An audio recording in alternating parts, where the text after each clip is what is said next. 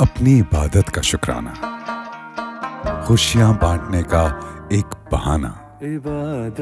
किसी को ज़िंदगी की उम्मीद दिलाना।